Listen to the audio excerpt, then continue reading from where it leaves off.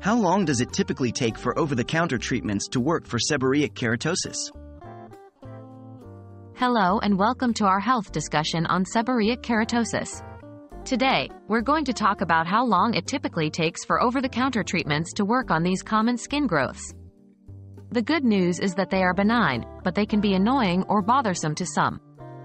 Let's delve deeper into this subject. What is seborrheic keratosis? Seborrheic keratosis is a common, benign skin growth that looks a bit like a wart or a mole. They typically appear as you age, usually on the chest, back, head, or neck. These growths can be brown, black, light tan, or even off-white, and may appear singly or in groups. They can be slightly elevated and may have a waxy or scaly texture.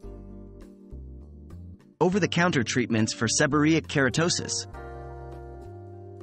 Several over-the-counter treatments can help reduce the appearance of seborrheic keratosis.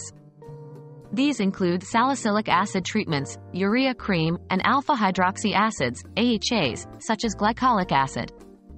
Salicylic acid and urea cream can help to soften and thin the keratosis, which may allow it to gradually peel off.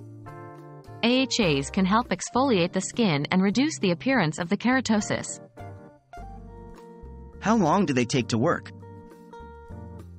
Typically, over-the-counter treatments for seborrheic keratosis require several weeks to months of consistent application to see noticeable results. The exact time will depend on the individual, the size and thickness of the keratosis, and the specific treatment used. Salicylic acid treatments and urea cream, for example, may require daily application for a few weeks to a few months.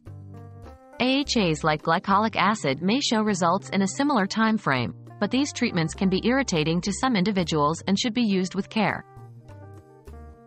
When should you see a doctor? It's important to note that while over-the-counter treatments can help with the appearance of seborrheic keratosis, they don't treat the root cause. If the growths are large, numerous, or bothersome, it's always a good idea to consult a dermatologist. They can provide more effective treatments such as cryotherapy, freezing, curettage, scraping, or laser therapy.